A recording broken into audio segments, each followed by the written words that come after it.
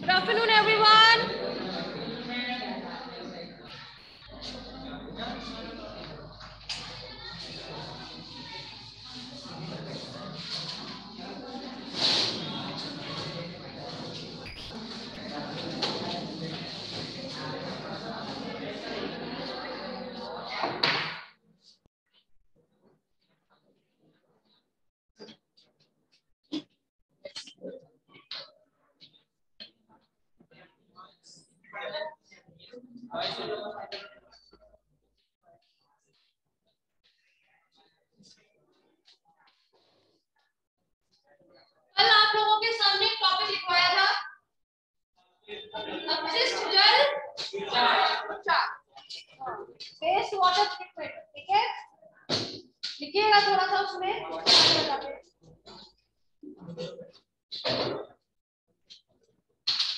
अपशिष्ट जल तो जानते हैं ना गंदा जल इस आप लोग अच्छा कहीं पर स्वच्छ जल भी मिलता है क्या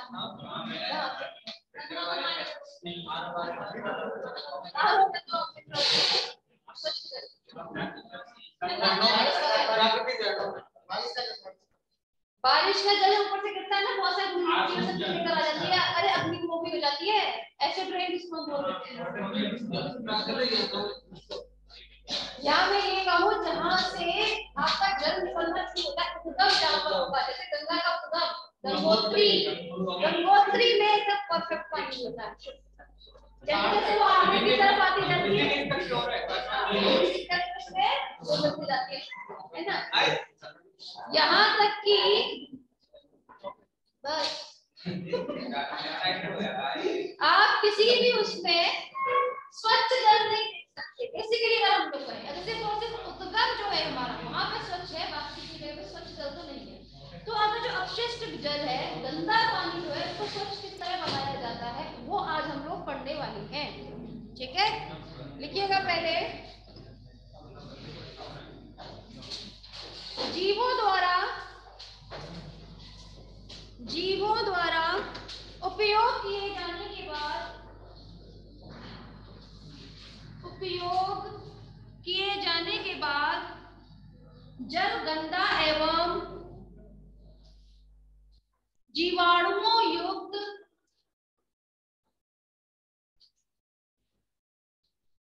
हो जाता है। बरसात का जल बहता हुआ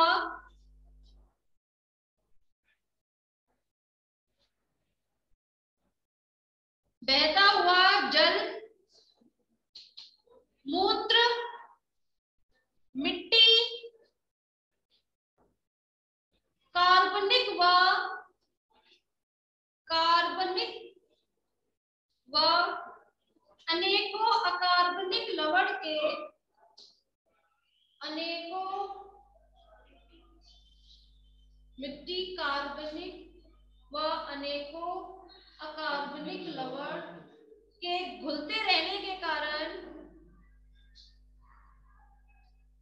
दूषित हो जाता है, जिसे अपशिष्ट जल या अनुपयोगी जल कहा जाता है।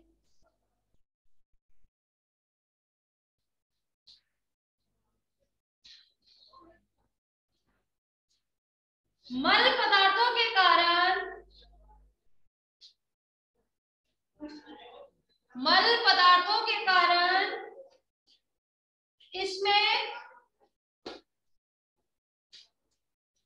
पॉलीफॉर्मस जीवाणु पॉलीफॉर्मस जीवाणु एकत्रित होते जाते हैं।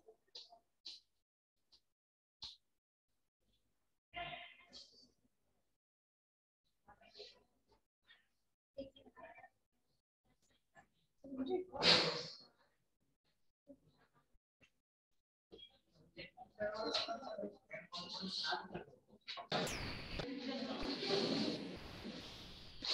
लिखा आप लोगों ने?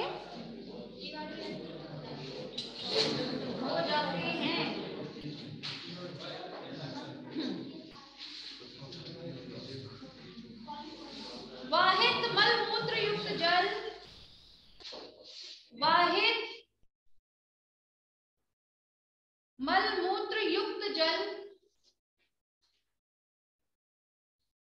घरेलू उपयोग के पश्चात घरेलू उपयोग के पश्चात का गंदा जल होता है। सीवेज वाटर क्या होता है? जिसमें हम नहा लेते हैं किचन में तो सबका पानी जो गंदा सीवेज वाटर में जा रहा है सारा गंदा पानी वही होगा सीवेज वाटर पश्चात का गंदा जल होता है, जिसमें मल मूत्र नहाने धोने के बाद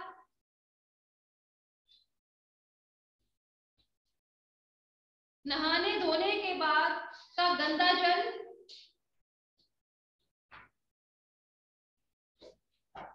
उद्योगों में उपयोग किया हुआ, उद्योगों में उपयोग किया हुआ दूषित जल होता है।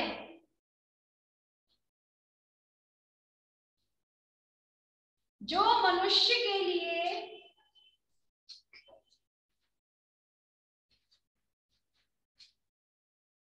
जो मनुष्य के लिए किसी भी काम का नहीं होता है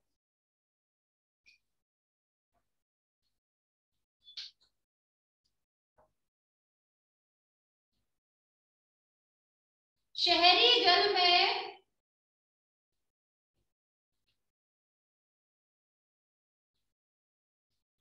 streptococcus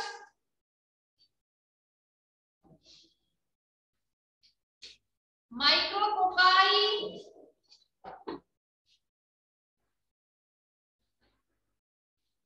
micrococci comma pseudomonas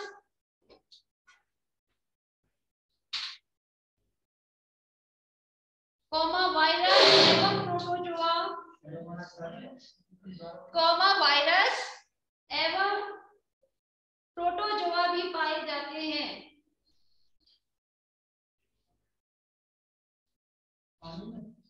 हाँ पाए जाते हैं। जो अधिकतर रोगजनक होते हैं।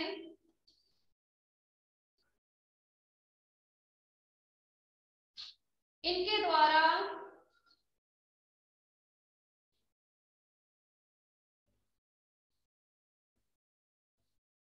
इनके द्वारा पेशिश, पोलियो पेचिश, पोलियो हैजा हेपेटाइटिस कॉमा ज्वर, आदि रोग उत्पन्न किए जाते हैं।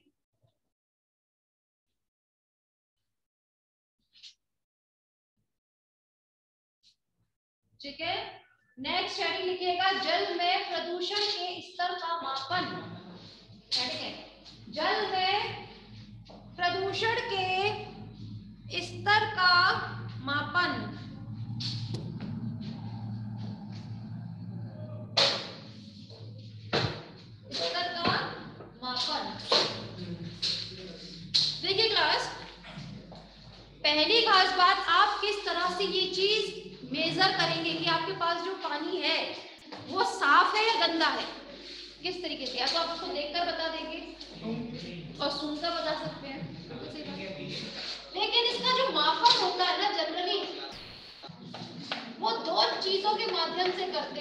करते हैं बीओडी और सीओडी बिल्कुल बायोलॉजिकल ऑक्सीजन डिमांड ठीक है ऑक्सीजन डिमांड ये होता है केमिकल ऑक्सीजन डिमांड ठीक है केमिकल ऑक्सीजन डिमांड से समझने से पहले आपको बीओडी समझना पड़ेगा बीओडी क्या होता है सपोज़ कीजिए आपके पास एक टैंक है उस टैंक में भरा हुआ है ढेर सारा गंदा पानी ठीक है तो हमें उस पानी को स्वच्छ करने के लिए कितना एक तो बायोलॉजिकल है जैविक चाहिए जैविक चीज़ ठीक है साथ में ऑक्सीजन ऑक्सीजन की कितनी मात्रा हमें उस पानी को शुद्ध करने के लिए चाहिए समझ में आ रही है? तो वो जो ऑक्सीजन डिमांड होती है, वही हमारी बीओडी कहलाई जाती है। अपनी बात को फिर दोहरा रही हूँ। यहाँ पर हम पानी स्वच्छ करने के लिए जनरली कुछ सूक्ष्म जीवों का उपयोग करेंगे। आप लोग जानते हैं, गंदे पानी में क्या होता है? तो भाई, तरह तरह की चीज़ें हैं। ये जो बिल्कुल सही बात है, जो ये बैक्टीरिया वगैरह क्या करेंगे, सूक्ष्म जीव क्या करेंगे, इनको अपघटित कर देंगे यहाँ पर। जीवाणु का काम क्या होता है? किसी भी चीज़ को डिकम्पोज ब्रेक डाउन कर देना।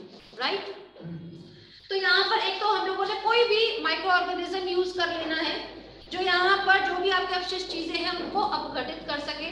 दूसरी खास बात, उसमें ऑक्सीजन की वो मात्रा बतानी है जो इस चीज़ के रिक्वायरमेंट हो। भाई माइक्रो ऑर्गेनिज्म किसके थ्रू आप उसमें डालेंगे तो? ऑक्सीजन के थ्रू ठीक है? जितना ज़्यादा गंदा पानी होगा, उस बीओडी का मान उतना ही ज़्यादा होगा। समझ में आ रही है बात? मतलब साफ़ पानी का जब भी बीओडी निकालने की कोशिश करेंगे तो वो हमेशा कम आएगी।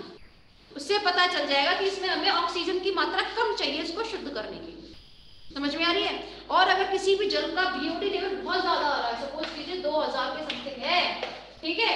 तो आपको समझना है कि वो पानी बहुत गंदा होगा जब हमें इसमें ऑक्सीजन की मात्रा बहुत ज़्यादा रखनी पड़ रही है तब। क्लियर है? इसे हमने बीओडी क्यों कहा है? क्योंकि अगर हम बायोलॉजिकल तरीके से उस पानी को शुद्ध कर रहे हैं। इसमें हम किसी प्रकार का केमिकल का यूज़ नहीं कर रहे। हैं क्लियर है? सेम चीज़ होता है सीओडी सीओडी क्या होता है? यहाँ पर हमने बायोलॉजिकल यूज़ किया था कोई टर्म है ना? सूक्ष्म जीव यहाँ पर हम किसी रसायन का उपयोग करेंगे उस पानी को शुद्ध करने के लिए। क्लियर है? और उसमें भी ऑक्सीजन डिमांड समझिएगा किसी पानी को शुद्ध करने के लिए ऑक्सीजन की वो डिमांड जो उसकी रासायनिक डिमांड होगी वही उसकी सीओडी कहलाई जाती है। भाई पानी दो तरीके शुद्ध हो सकता है बायोलॉजिकल तरीके से या फिर किसी रासायनिक तरीके से। समझ में आ रही है? तो बायोलॉजिकल ऑक्सीजन डिमांड या केमिकल ऑक्सीजन डिमांड क्या होता है? ऑक्सीजन की वो मात्रा होती है जो उस पानी शुद्ध करने के लिए ज़रूरी होती है। समझ में आ रही है? उस पानी के मापन कर रही कौन पानी ज़्यादा साफ़ है गंदा है? क्लियर एक खास बात और समझिएगा। सीओडी का मान हमेशा बीओडी से ज़्यादा होता है। ठीक है? मतलब अगर मैं इसको इस तरह से लिखूं तो ये वाला साइन आना चाहिए। ये आपके प्रैक्टिकल में है बकायदा। सीओडी बीओडी के ऊपर। ठीक है ना? बट वो पता होगा बट सीओडी बीओडी का होता है। ठीक है? इस तरह वो मापते हैं हम। क्लियर लिखिएगा बीओडी बीओडी किसी जल द्वारा ऑक्सीजन की वह मात्रा है। वह मात्रा है जो कार्बनिक एवं अकार्बनिक पदार्थों क्रिया विघटन हेतु।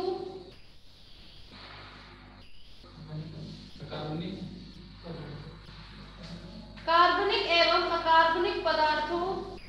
क्रिया विघटन हेतु मतलब विघटन क्रिया के लिए ठीक है? हेतु आवश्यक है।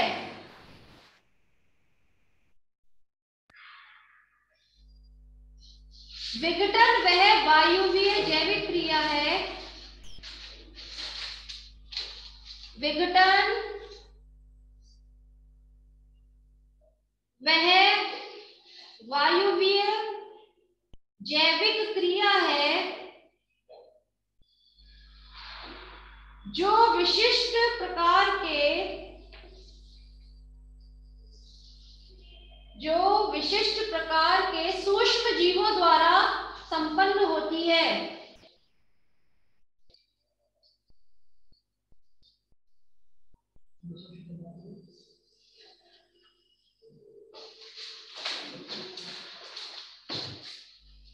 विशिष्ट प्रकार के सूक्ष्म जीवों द्वारा संपन्न होती है।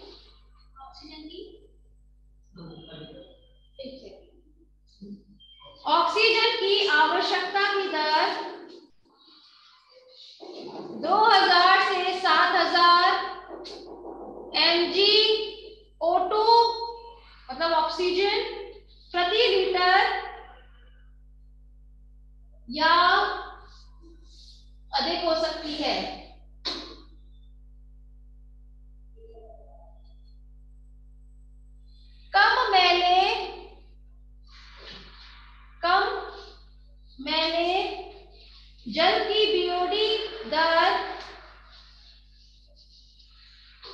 बीओडी दर केवल 100 से 300 एमजी पर लीटर।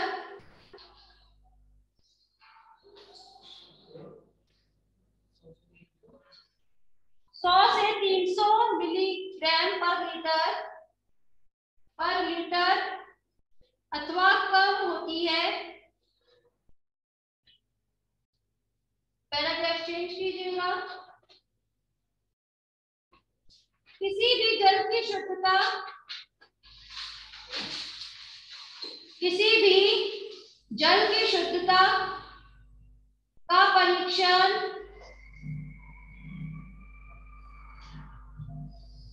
उसकी बीओडी दर, उसकी बीओडी दर निकाल कर कर सकते हैं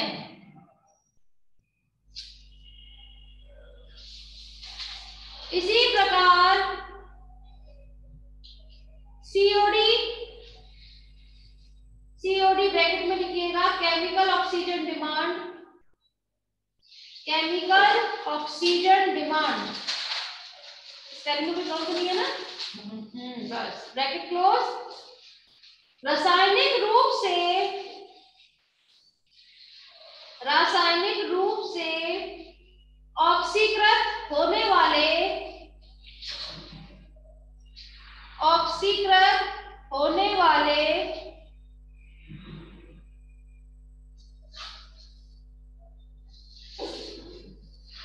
कार्बनिक पदार्थ की मात्रा है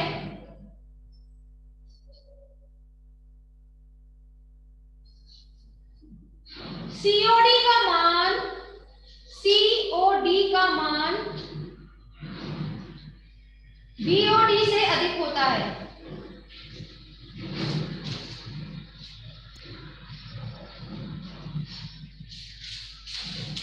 बीओडी से अधिक होता है। हो गया? नेक्स्ट स्टडी लिखिएगा, जल का शुद्धिकरण। जल का शुद्धिकरण।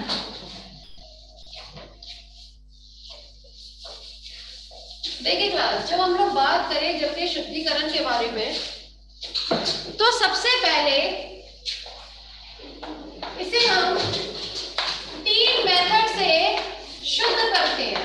या मैं कहूँ, किसी गंदे पानी को तीन स्टेप में शुद्ध किया जाता है। ठीक है? पहला होगा इसमें सेडिमेंटेशन मतलब अवसादन।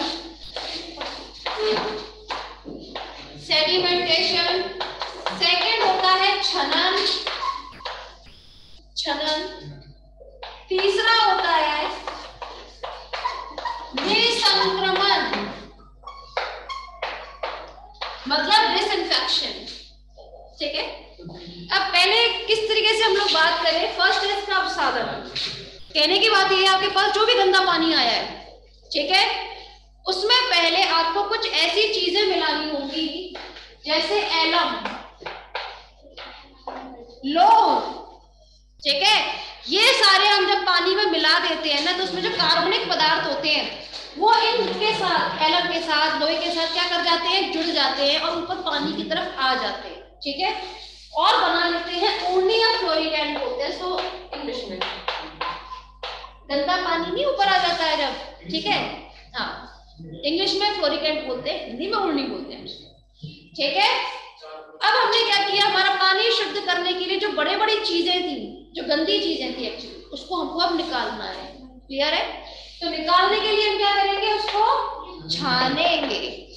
क्लियर है? छानने के लिए हम क्या करते हैं? बहुत बड़े बड़े छनके यूज़ किए जाते हैं। छनके जानते हैं ना? फिल्टर्स नॉट छलनी। छनके। ठीक है? छलनी अलग हो गई। फिल्टर्स होते हैं बहुत बड़े बड़े आप लोगों ने टेंथ में भी पढ़े होंगे। पानी को शुद्ध करने के लिए मटके पे मटका रख देते थे डायग्राम में। वो मेथड ठीक है? खनन होगा।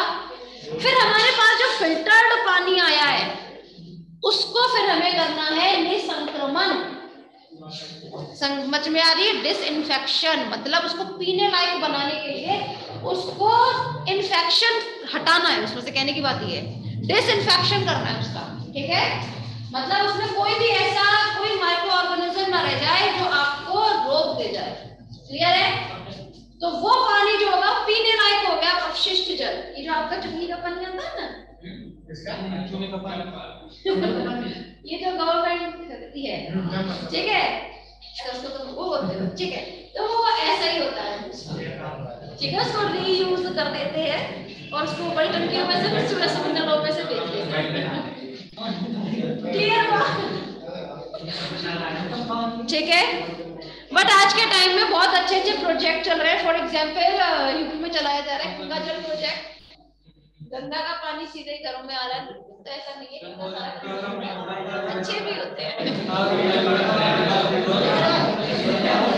क्लियर है? तो जरा लिखिए पहली हेडिंग अब साधन अब साधन हाँ वो मैं लिखूँगा अब साधन ये तुम्हारे केमिस्ट्री में आएगा टर्म एनम क्या होता है। जो कुछ ए एल टू ऐसे ऊपर से कुछ होता है। लिखिएगा जल का शुद्धिकरण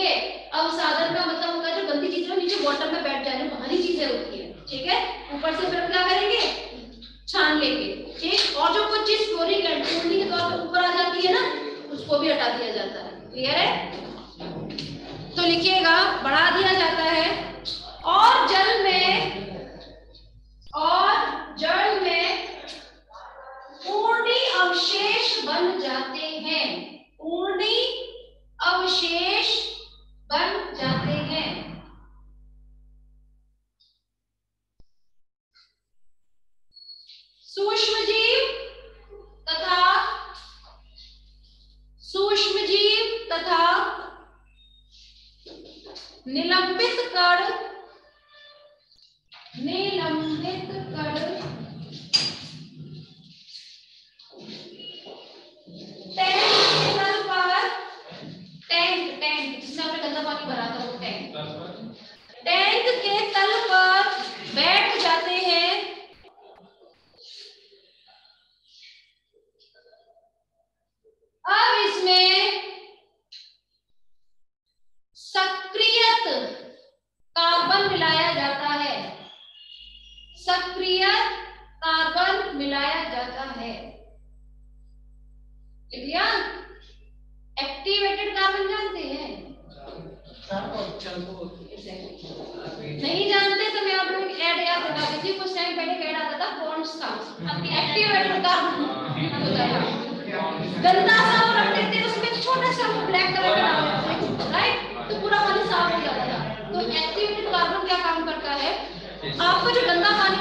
गंदगी को अवशोषित कर लेता है इधर। गंदगी को अवशोषित कर लेता है, ना सिर्फ़ गंदगी को करता है, बल्कि जो अजीब स्मेल आती है ना, उसको भी अवशोषित कर लेता है एक्टिवेटेड कार्बन ठीक है ना? तो इससे सक्रिय कार्बन मिलाते हैं। जो जल के स्वाद में, जो जल के स्वाद में रंग में अंतर प्रकट करने वाले अंतर प्रकट करने वाले लवणों को अवशोषित कर लेता है। अवशोषित कर लेता है।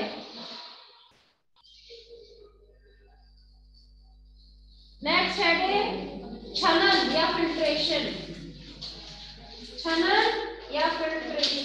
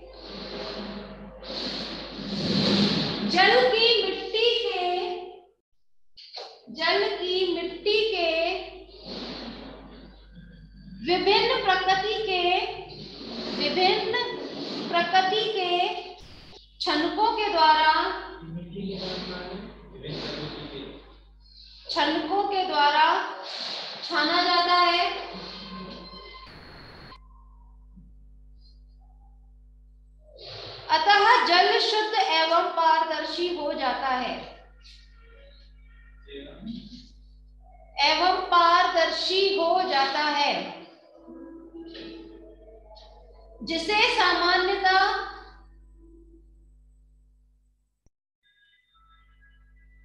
पीने हेतु उपयोग में नहीं लाया जा सकता। पारदर्शी हो जाता है, जिसे पीने हेतु उपयोग में नहीं लाया जा सकता।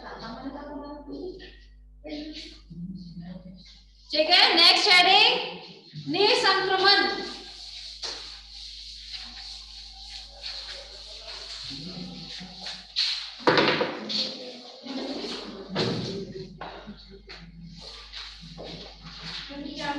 डायग्राम